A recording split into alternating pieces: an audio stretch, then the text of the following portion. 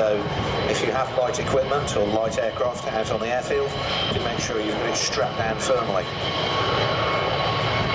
Liebe Gäste, Sie sehen Rollen die A300 Zero G der Deutschen Gesellschaft für Luft- und Raumfahrt. Wenn man auf der Erde mit Hilfe von Zentrifugen und Überbelastungen simulieren kann, so gelingt das leider nicht in Richtung das Vielfache kleiner als 1. Schwerelosigkeit lässt sich nur im Weltraum